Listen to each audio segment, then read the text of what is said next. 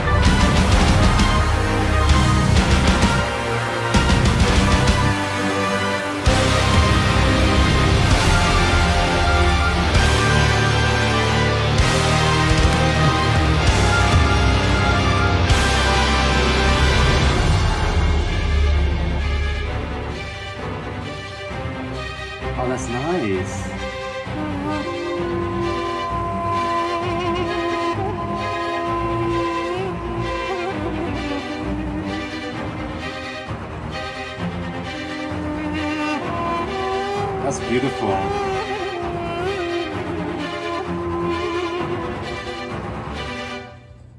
Oh, well done.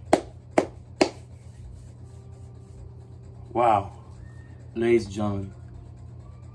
yeah, I felt like I was watching the movie for sure. Great job for uh, film production. Well done. Well done. Huge props to them before I even get into the song here. Well done. I love it when people like really go in depth with their mu music videos like this. Just, it's beautiful. Very nicely done. Very nicely done. Wow, first time listening to this band, ladies and gentlemen. First time. Never, never, I have never heard this band before. Wow, where, where, where should I start? That beginning part, when the whole band entered, blew me away. Just, I, I loved what everyone has done in this band. Really, there's not, I, I can't, oh my god. The um, composition for this was just outstanding absolutely outstanding. Especially that I liked how they added other instruments. And I love it when bands add more than just you know guitars, drum, basses, you know vocalists. You know I'm talking about violins or violas, um, trombones or trumpets, whatever. You know, tubas, whatever. I love it when bands add more um, add, add, add more layers of um, instruments over the songs. I, I, I love that. And they completely delivered with this one, ladies and gentlemen. Genre-wise, even though it really doesn't matter. I'm trying to figure out, so what? This is not black metal, heavy metal, black metal? I don't know. Please comment down below. And I apologize if I'm saying the wrong genre for this band. I don't know, please comment down below. Death, not death metal, like black metal. Maybe black metal? Maybe? I'm not sure. Maybe. But ladies and gentlemen, I'll leave that fat. I gotta check out this band some more. The visuals for this video was completely amazing. Blew me away completely blew me away. But ladies and gentlemen, I'll leave that fat. Much love. Stay safe. I'll see y'all soon. Make sure to like and subscribe if you haven't yet already, alright? Peace.